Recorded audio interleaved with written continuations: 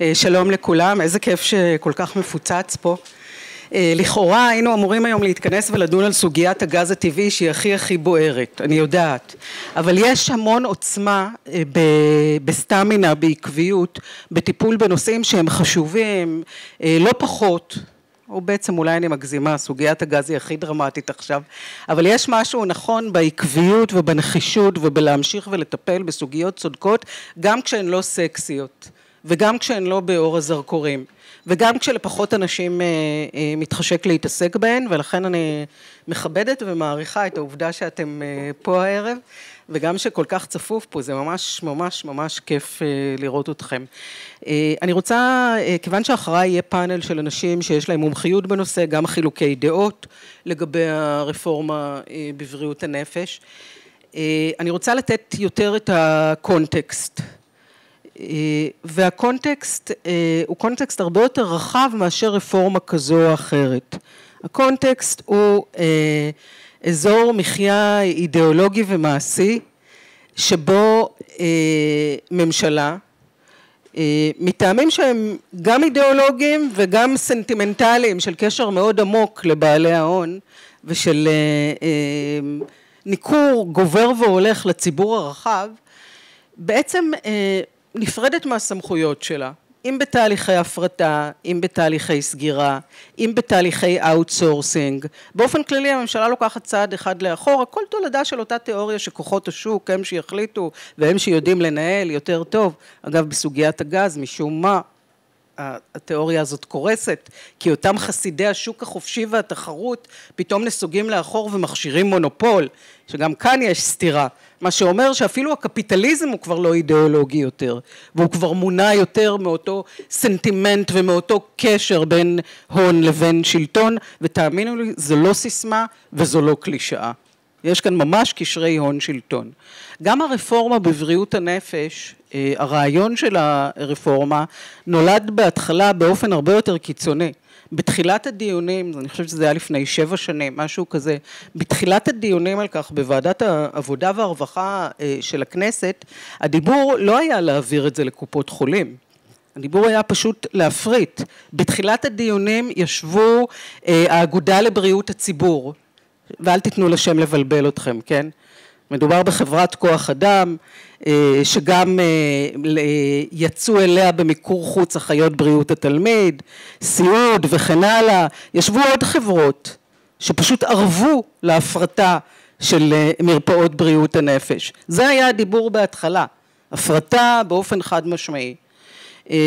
ואנחנו, קבוצה קטנה של חברי כנסת, פשוט מנענו את זה בגופנו, שוב ושוב ושוב בכל דיון, אפילו אני זוכרת איזה פגרה בין כנסת, בין כנסת לכנסת, אה, שבה ועדת, כל הזמן היה ניסיון להעביר את הרפורמה הזאת מהר מהר ומעל הראש שלנו ומעל ראשה של הכנסת, אגב כפי שקורה היום עם הגז, ואני זוכרת אפילו פגרה אחת בין בחירות לבחירות שבה בוועדת ההסכמות, שזה גוף ארעי לחלוטין עם נציגות מכל הסיעות שנועד איכשהו לתחזק את המשכן בין כנסת לכנסת, היה ניסיון אפילו להעביר את זה דרך ועדת ההסכמות וגם אז הצלחתי למנוע את זה. ולפני כשלוש שנים באופן אופייני למדי כשהתגלה לממשלה שהכנסת עושה בעיות במרכאות כפולות ומכופלות כפי שהיא עשתה בעיות וכפי שהפלנו את תוכנית ויסקונסין למשל וכפי שהיא עשתה בעיות ואז נולד אה, מתווה שישינסקי בעקבות הבעיות, כשהתברר אה, לממשלה שהכנסת היא אבן נגף במרכאות כפולות ומכופלות, הוצא איזשהו צו עוקף שהעביר את הסמכות להתחיל ברפורמה באמצעות הממשלה בלבד, בכוח צו ולא בכוח חקיקה, שזה היה דבר באמת באמת חסר תקדים לחלוטין. כל הדברים מהסוג האלה עברו מהלך של חקיקה לפני כן, עברו דרך ועדת כספים, עברו איזושהי בקרה, היה אפשר להכניס בהם שינויים, היה אפשר למנוע אותם, ונתתי כבר את ויסקונסין אה, כדוגמה. לנושא שעבר דרך ועדת העבודה והרווחה ובשיתוף פעולה נדיר של כל סיעות, סיעות הבית, למזלנו מי שהיה מישראל ביתנו הייתה אורלי לוי לשם דוגמה, אה, ומי שהיה מהליכוד היה חיים כץ. אה, וכך אה, יכולנו באמת, ומי שהייתה מקדימה הייתה מרינה סולודקין זיכרונה לברכה, וכולנו יחד יצרנו איזשהו כוח פרלמנטרי שהצליח לעצור את ויסקונסין, אבל כאן שום כוח פרלמנטרי לא עזר, כי פשוט הלכו לנו על הראש, ועשו לנו overruling, והממשלה לקחה את הרפורמה הזאת אליה. אנחנו רואים כאן קלאסיקה מכאיבה, אה, מכאיבה תרתי משמע, כי הקורבנות שלה יהיו רבים. אה, של הרס של גוף מתפקד וטוב, עם אה, אתוס טיפולי ועם אתוס אידיאולוגי ועם אה, אנשי מקצוע נפלאים ומסורים לאותן מרפאות, לאותו מערך בריאות הנפש, פסיכיאטרים ופסיכולוגים ומטפלים ועובדים סוציאליים, שגם צברו חוכמה ארגונית במהלך השנים של פעולת מרפאות הנפש. ואנחנו רואים את המדינה באה ומחריבה, פשוט מחריבה, בשם אותה מילת קסם רפורמה, ומעבירה את זה לניהולו של אה, גוף אחר אה, לחלוטין, שזה גם תופעה, אנחנו רואים את זה עכשיו עם רשות השידור. עשו לנו את חוק רשות השידור, הודיעו שתקום רשות שידור חדשה במקום זאת שנסגרת, רשות שידור חדשה כמובן לא קמה, ההיא הולכת כבר להיסגר, וכל כך כל כך קל להרוס. פשוט כואב הלב כמה קל להרוס וכמה קשה לבנות. צריך לומר בהגינות שהיצור כלאיים שנולד מזה, חשוב לי, הרבה פעמים אנשים שהם שותפים שלי למאבקים אומרים אל תגידי, אה, צריך ללכת, להגיד, להציג את הצד הקיצוני והחד משמעי ביותר. מה שנולד עכשיו ומה שעומד להתחיל עכשיו ואף פעם לא צריך להרים ידיים עד הדקה התשעים ולהיאבק בכל הכוח, גם כשנראה שאין סיכוי, אבל היצור כלאיים שנולד עכשיו הוא רע, אבל הוא טוב לאין ארוך ממה שהתכוון המשורר אליו. כי המשורר לא התכוון לקופות חולים, והמשורר התכוון לשים ברפורמה הזאת 300 מיליון שקלים, והיום יש בה 430 מיליון שקלים, ועל פי הערכות צריך, נגיד, ש, אה, נגיד שנסכים עקרונית שצריך לעשות את המהלך הזה, או שאין ברירה וצריך לעשות את המהלך הזה, ואני לא אומרת את זה, המהלך הזה הוא פסול ושגוי והרסני, אבל גם אז על פי הערכות צריך יותר מ-500 מיליון שקלים כדי ליישם את הרפורמה הזאת בצורה מיטבית, ואנחנו נשארים עם כל הס... הסוגיות הקטנות והלא חשובות, כמו למשל מה יעלה בגורלו של ילד בבית הספר שהיועצת אה, מאבחנת אותו כמי שכדאי שהוא יפנה למרפאה לבריאות הנפש. היום היא פונה למרפאה, מה היא תעשה עכשיו? תחייג למוקד קביעת תורים של קופת חולים? יענה לה מענה קולי? לדיכאון הקישי אחת, אה, לחרדות הקישי שתיים?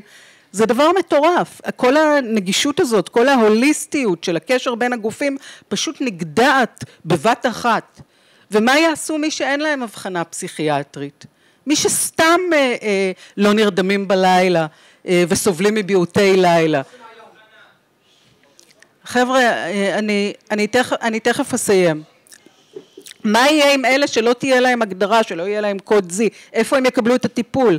מי ערב לנו, הרי קופות חולים היום, אגב, למגינת ליבן, גם קופות חולים אה, סובלות מה, מהשחיקה המתמדת והנוראה בתקציבי הבריאות ובתקציביהן. אין להן ברירה אלא לפעול על פי אינסנטיב כלכלי והן פועלות על פי אינסנטיב כלכלי. מה יותר כלכלי מלשלוח אדם עם תרופות פסיכיאטריות גם אם טיפול מתמשך עדיף? הרי ברור שזה יותר כלכלי ויותר זול. כל כך הרבה מטופלים ייפלו בין החורים האלה של הרשת הזאת שמתרחבים אה, בצורה חסרת תקדים בגלל הרפורמה. דברים קטנים, אתם יודעים, כשהייתי יו"ר הוועדה לזכויות הילד, אה, יצחק קדמן, יו"ר המועצה לזכויות הילד ואני, פנינו יחד אה, בעתירה לבג"ץ נגד העובדה שבמרפאות בריאות הנפש ילדים שמקבלים טיפול, הנתונים שלהם נשמרים עד, עד קץ כל הדורות. גם בבואם להתגייס לצה"ל וכן הלאה, ראינו בזה פגיעה מאוד קשה אה, בפרטיות ואכן בג"ץ אה, קבע לא לשמר מאגרי מידע על אותם ילדים. עכשיו ברגע ההפרטה לקופות החולים כל אותו הישג של פסק הדין, של ההחלטה של בג"ץ יורד לטמיון בעצם. וקופות חולים משמרות את המידע והוא יישמר לנצח נצחים ולהתחיל לפעול עכשיו מחדש זה עולם ומלואו אבל זה באמת זה הפינאט זה הדברים הקטנים והדברים הקטנים הם נורא גדולים כי מדובר בבני אדם. ואנחנו נשארים כאן באמת עם מערך שלם שגם אגב לא הוסדרו זכויות העובדים שבו ולא ברור מה יהיה מעמדם ולא יהיה ברור מי יהיה המעסיק שלהם וגם ההבטחה ששום מרפאה לא תיסגר וגם יתווספו אליה גם היא כבר מתגלה כלא ממש מהימנה ואנחנו כבר שומעים על מרפאות פה ושם אה, שנסגרות כמו במודיעין אה, למשל. ואנחנו רואים באמת את, ה, אה, את התוצאות של אותה תפיסת עולם כל כך פגומה שאומרת בואו נהרוס את המבנים שהקמנו כאן באמת בעמל רב וצברו כבר ידע לטובת מכונת ממון שלתוכה הכל נבלע ונגרס ובאמת אי אפשר ומאוד מאוד קשה להפריד את הקונטקסט האידיאולוגי והמעשי של החיים הכלכליים והמוסריים שלנו כאן מהסוגיה הזאת של הרפורמה בבריאות הנפש שכאן יושבים אנשים, אני גם חלק מכם אני מכירה, ש, ש, שמערך בריאות הנפש בנפשם, בליבם, הוא חלק מה, מההוויה המקצועית והנפשית והקיומית שלהם, זה שליחות, זה אתוס, זה מקום עבודה. ו... ו... וכל הדבר הזה אה, במסגרת אותה אה, רוח רעה שבה המילה רפורמה היא מילה קדושה, גם אם היא מזיקה, אנחנו אה, עדים לרפורמה הזאת, היא אמורה להיכנס לתוקף ממש בימים הקרובים.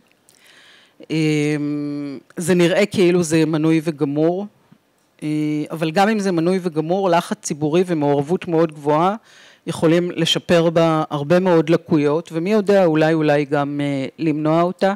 לפי הכוחות שנמצאים כאן והצפיפות באולם הזה, אה, אתם יכולים לצאת מפה ולהפוך את העולם. אז אה, בהצלחה לכולנו, ואני מאחלת לכם גם שיהיה לכם ערב מוצלח, ותודה לעמיתי שהזמין אותי. תודה רבה.